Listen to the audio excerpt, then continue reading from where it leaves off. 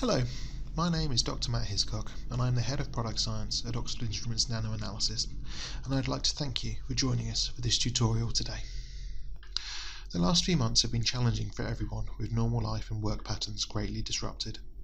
In many cases, access to offices, laboratories, and other work sites has been forbidden or greatly restricted. This has meant that in some cases it has not been possible to access the scanning electron microscopes that many of us use on a day to day basis, or, in other cases, access to them has only been occasional. Restrictions vary around the world, as do the protocols that have been implemented by companies and institutions. As such, everyone is having a different experience. There are, however, some commonalities in the challenges that people face in working remotely with SEMs and their analytical systems, and it is those that we have sought to identify and will discuss here.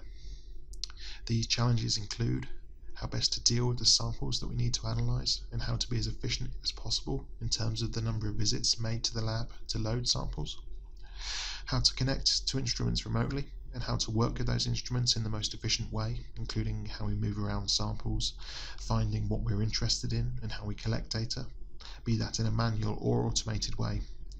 And finally, how we post process and report that data. We'll cover all of these points and make some suggestions based on our experience in the next 20 minutes. There are a few tasks that need to be done in person when running analyses on an electron microscope.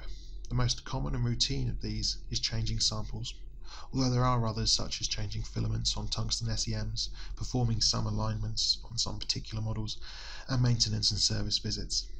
Thankfully, in terms of the EDS system, with the advent of the current generation of liquid nitrogen free detectors, it's no longer necessary to top up coolant on a daily basis. In fact, after the initial installation, it's possible to control all aspects of the analytical systems, EDS, EBSD, and WDS, remotely. However, as I said, the main task that has to be done in person, although not necessarily by the person performing the analysis, is changing samples. Depending on the setup in a specific laboratory, this could be either a quick and easy task done on one instrument, or it could be something that has to be done multiple times per day or week, potentially requiring multiple in person visits for that sole purpose. As such, we need to think of strategies that allow us to reduce how frequently this needs to be done. The most straightforward and obvious of these is to load as many samples as possible into the microscope, taking advantage of all of the stage position that it offers. By doing this, we should reduce the number of times that samples have to be changed. If we are going to do this, we need to bear a few things in mind. Firstly, we need to think about the height of our samples. Ideally, all of the samples which are loaded will be of a similar height. If this is the case, it makes our life a lot easier, as we will essentially be moving around in a single plane using x and y controls only.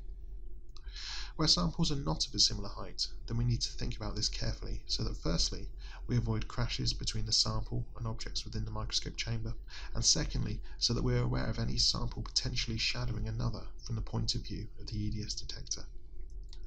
In many cases, the microscope will have a chamber scope, often an infrared camera combined with an IR light source inside the microscope chamber. This is of immense value as it gives you a view of what is happening in the chamber in real time and therefore gives you confidence in operating it. I would always encourage people to use it as much as possible. So, now that we've got some samples in our microscope, we can think about how to connect to it remotely. Connecting instruments to the internet is a topic that often gets a lot of discussion, but it is something that we have been doing with our own microscopes at Oxford Instruments Nano Analysis for years, and we found that it brings us a lot of benefits, never more so than now. There are a variety of different ways that you can connect to your microscope and Aztec based analytical system, and what you see here is just one example that we commonly use. Here, we're connecting from our homes to our office network via a VPN and then using two remote desktop connections one to connect to the microscope PC and another to connect to the Aztec PC. You can see in the picture on the upper left that I've then arranged the windows on my home setup so that the layout is the same as if I were working directly on the microscope. This then makes it really quite intuitive to work with the microscope as if I'm in the office and it's quite possible to achieve similar levels of productivity. We'll talk about some of the tools that we can use to ensure this productivity in a moment. This is just one example of a possible setup. Another would be to have a single connection to one of the PCs and for that one in turn to be connected to the other. Alternative in some cases, some of our systems sit on the microscope PC, but more on that later. Whichever way you decide to set up, one thing that's always helps is ensuring that you're running the latest generation software and operating systems. The vast majority of development of PC based systems is on Windows 10, so for any systems that aren't already running this, I would definitely recommend upgrading. Another major advantage of connecting your Aztec system to the internet is that it can then be supported remotely.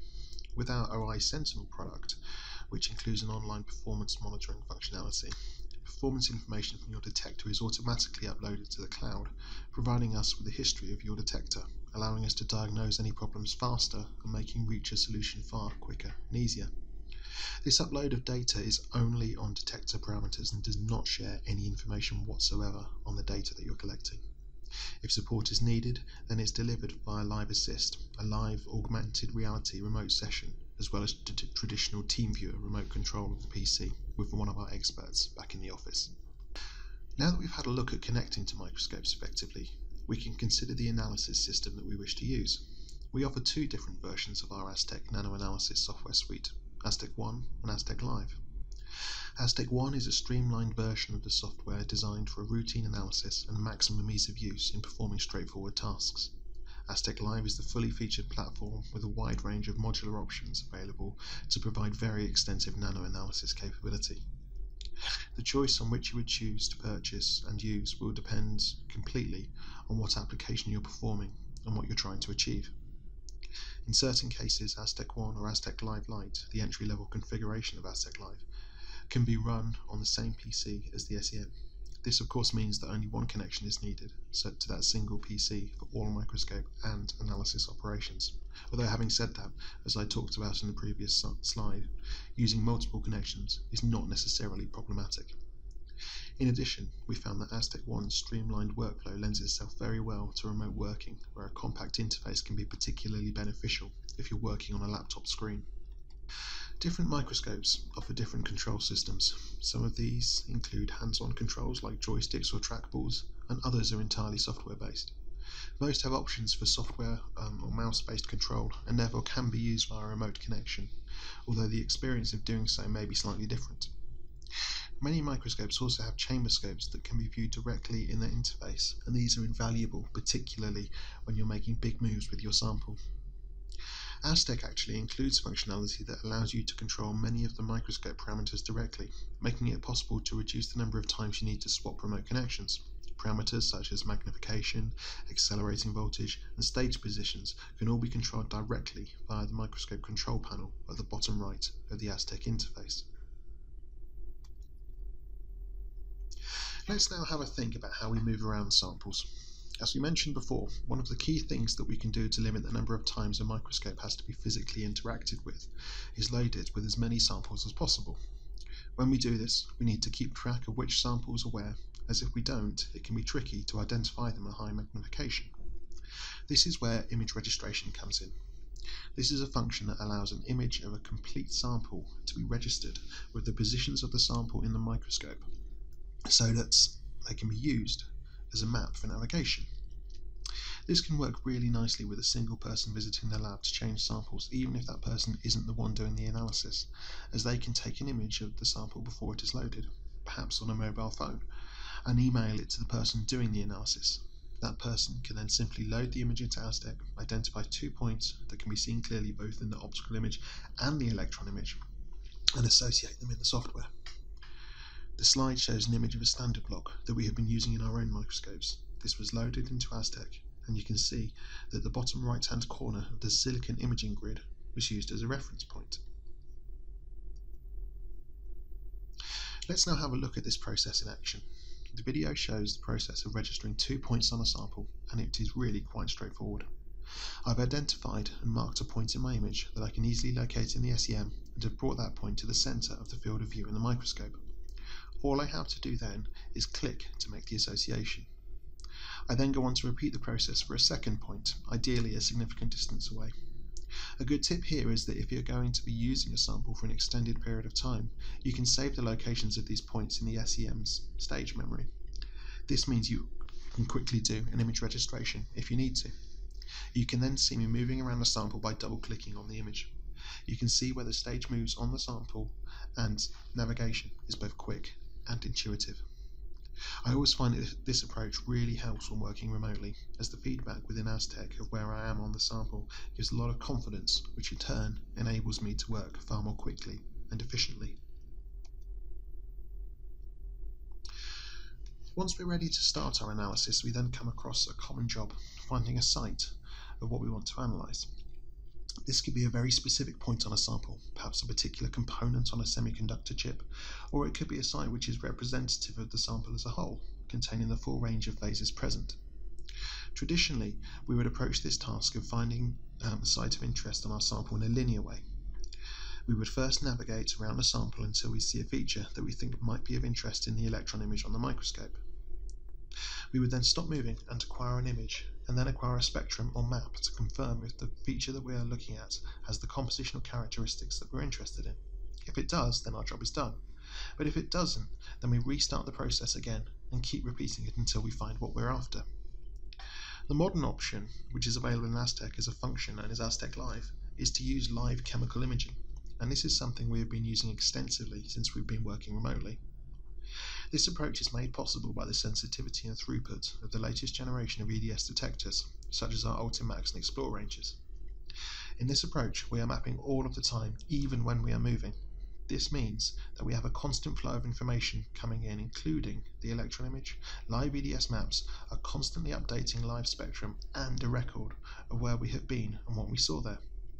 All of this simultaneous information makes it very quick and easy to determine when we have found what we're looking for. We don't have to stop and acquire EDS data every time we think we might be in the right place, as it is already there and collected for us. The advantage in terms of remote working is that we're getting all of this information come to us rapidly in a single interface without ever having to stop moving. So what does this look like in practice? I'll show you an example. Here you can see that we're looking at a rock sample with a variety of different minerals and elements present within it you can see that as I move around, both the electron images and the EDS maps are updating in real time. I don't have to stop and wait for EDS data to arrive. This means that I can be really efficient in my navigation and searching. You can see that after moving around for a while, I have settled on a grain that appears to be homogeneous based on the electron image. We can't see any variation within it. However, we can see from the live EDS maps that in actuality there are numerous silicon-based veins within the grain. If I hadn't had the EDS maps available to me as I was navigating, there is a real chance that I would not have stopped to look at this particle and therefore would have missed this key insight. It's only with truly live chemical imaging and navigation that I can do this. Now that we've set up our microscope for remote working and successfully navigating around our samples, we can now start to think about how to use the microscope most efficiently, making best use of our time. The first approach that I'd like to discuss is the virtual sample. This is a really good approach if you don't know exactly what to expect in your sample. Fundamentally, a virtual sample is a map of a sample, made up of one or more fields of view that can be interrogated at a later stage, with individual spectra or line scans extracted from that map as you see fit. We call it a virtual sample because for every pixel in the EDS map, a spectrum is stored, elements are identified from those spectra and go to form the multiple element maps that can be viewed at any time. The original spectra can be recalled at any time and potentially combined with others as you wish by reconstructing spectra. This means that you work in an ex exploratory fashion in a similar way to how you would when using the microscope live. You even have the possibility to change your element identification and quantification settings as you wish, reprocessing the data as often as you like. The big advantage of this approach in terms of remote working is that a short amount of time can be spent um, to set up the acquisition and then it can be left to run, meaning you can get on with other tasks whilst that happens in the background. Once it's been acquired, you can then move on to um, another task in the knowledge that you can do your post processing and data extraction at a later stage, meaning that valuable microscope time doesn't have to be spent on this activity. Here's an example of this in practice. Here we have a map that was acquired live on a microscope, then saved as a project for later data processing and extraction. I'm using Aztec Spectrum reconstruction tools, which are located at the left of the interface, just to the side of the map. You can see that I'm drawing the regions that I want spectra to be acquired from with a rectangle tool, and that, as I do so, they're immediately extracted and then displayed in the mini view, which I have expanded at the right of the interface. I then move over to the line scan navigator and can continue working on the same map, but this time I'm extracting line data instead of spectra from small regions. Once I've done that line extraction, it's immediately displayed in the interface, allowing me to understand how the concentrations of the different elements vary along that profile. I could of course extract as many different line profiles as I wish from this dataset. The virtual sample approach that I just showed was perfect for an investigation of a sample where I didn't know exactly what I was going to find. If I'm in a situation where I do know what I'm likely to find and want to work with a large sample, then automation is likely to be the best approach for me to use. The great thing about using automation is that I can spend only a few minutes connected to the SEM and analytical system remotely to set up my analysis and can then leave it to run unattended over hours, overnight, or longer depending on what it is I want to achieve. In terms of collecting EDS or EBSD maps, I could choose to either line up a series of single field maps at multiple locations, or I could choose to set up one or more large area maps made up of potentially thousands of fields of view. The beauty of this approach is that I can collect the individual maps at relatively high magnification, allowing me to understand the fine structure of my sample, but then still have an excellent overview of the larger scale structure when all of those high magnification maps are montaged together. The next step in automation would be to perform particle or feature analysis. This is an approach that is designed to provide accurate results at speed by automating the detection of particles and the acquisition of compositional EDS data from them. The reason why this approach can be so fast is that we acquire one spectrum from each feature um, as opposed to one spectrum per pixel as we would in a map. Clearly, automation is a huge topic on its own, and we don't have time to go into it here, but it does fit very nicely into a home working workflow, and I would encourage anyone that hasn't tried it before to do so, as it provides major opportunities for improving the efficiency of your analysis. So, we're now at the stage where we've performed some analysis, potentially even automated, and we want to work with it offline. By offline, I mean on a system not connected to the microscope. So what can you do offline? Well, a pretty huge number of things really. The most obvious activity is around processing your data and reporting on it. We can re-quantify spectra, adjusting the elements that we're quantifying if we wish, and prepare images of spectra, line scans, or maps for publication, controlling all of the different properties of these so that we can answer the questions that our, our analysis is addressing in the best possible way. We can take this further and use functionality such as auto phase map to determine what compositional phases might be present in our sample using an algorithm that automatically looks at the individual element maps and identifies where there are consistencies between them. We could work with layer probe, looking at multiple layers in thin film samples, or we could montage our large area maps, perhaps creating sub-montages of regions of particular interest. And finally, we can spend time processing and understanding the results of our particle or feature analysis, perhaps creating or amending classification schemes using all of the data interrogation and classification tools available to us in Aztec Feature, or reporting on our results. One thing that we do need to think about with regard to working with our data offline is moving data around. We're able to collect huge amounts of data very quickly nowadays, and of course, this can translate into significant project sizes. As such, it's prudent to think about how we will move this data around. Of course, it's possible to move projects via the internet, either directly or with services like OneDrive. Aztec projects are structured with a single project file and a folder with a number of data files. You can zip the whole project structure up to transfer it as a single file.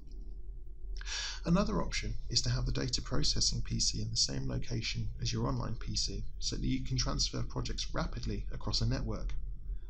You can then connect remotely to the data processing PC and work with projects without having to transfer them over the internet. As with the discussion on connections, there are many ways of doing this. All I would encourage you to do is think about the many possibilities. We're currently offering an opportunity to allow you to try working offline for free. You can download a copy of Aztec and get a free timed license for all functionality by visiting the Aztec Timed webpage. This will give you all the functionalities of an offline system until the end of September this year. It's a great opportunity to try out parts of Aztec which you might not have used before, and I'd encourage anyone who's interested to give it a try. So that brings us to, to the end of our tutorial. But before we finish, I wanted to make a few concluding remarks to summarise.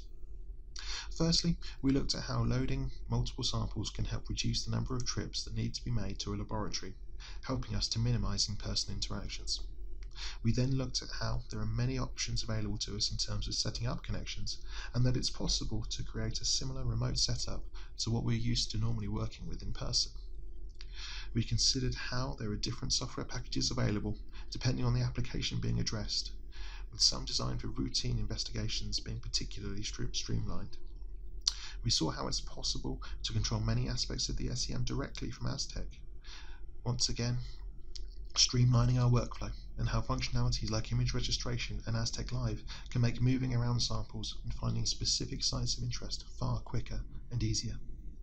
Finally, we considered how virtual samples can be utilized to increase our efficiency, perhaps by allowing us to set an analysis running whilst we do some other tasks and then extract data from it later offline.